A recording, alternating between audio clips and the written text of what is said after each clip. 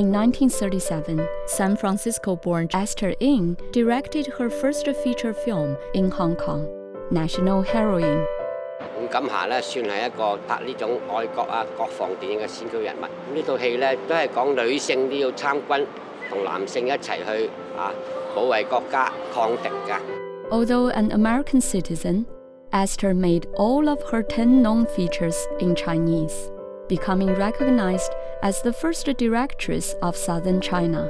I was looking at film reviews from 1941. One caught my eye, which was a review of a film called Golden Gate Girl. And I looked at the credits, and it said directed by Esther Ng.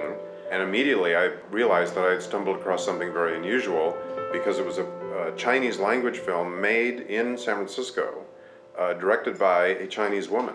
只系李海泉喺关影年地喺度做戏啦，咁啊 Bruce Lee 啊啱啱出世， 所以揾佢誒喺金門女度誒扮女仔。我住緊幾十年啦，唐先生。一九四八年，小飛喺呢邊拍一套。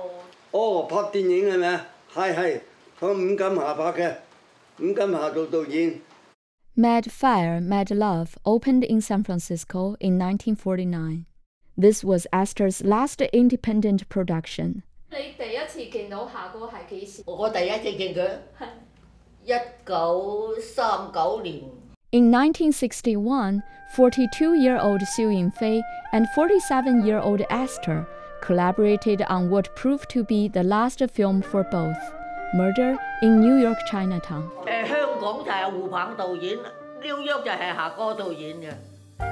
In 1946, when asked by journalist Betty Cornelius if she had been nervous about beginning a career in a medium of which she knew virtually nothing, Esther answered, It just came to me. I don't know why. I just went ahead and I wasn't afraid of anything. I am the only one in our family interested in pictures. I wonder why.